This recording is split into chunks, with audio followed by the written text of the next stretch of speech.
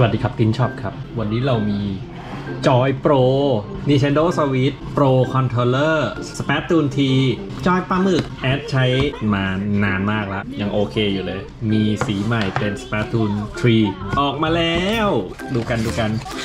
จอยโปรมันทนสุดๆเลยอะ มันไม่พังนาทีอะ สงสัยต้องเก็บเพิ่ม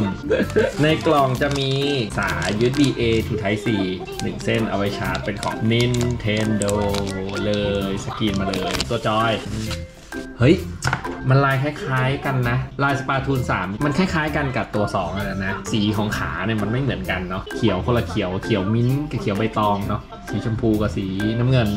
จอยโปรมันดีอยู่แล้วเนี่ย แอดใช้มาหลายปีแล้วตั้งแต่สปซทูน 2 ออกเนี่ยยังไม่พังเลยเนี่ย เฮ้ย มันก็สวยเหมือนกันว่ะ ดูดูๆไปดูมาแล้วสงสัยเดี๋ยวต้องโดนอีกอันหนึ่ง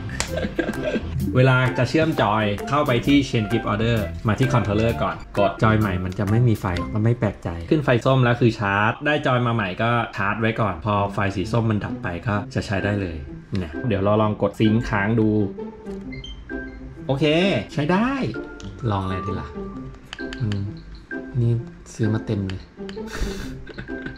าร์จแบตครั้งหนึ่งอยู่ได้ 40 ชั่วโมงสำหรับจอยโปรมันค่อนข้างถึกถึกสุดๆไม่รู้จะถึกไปไหน ชาร์จผ่านด็อกก็ได้หรือว่า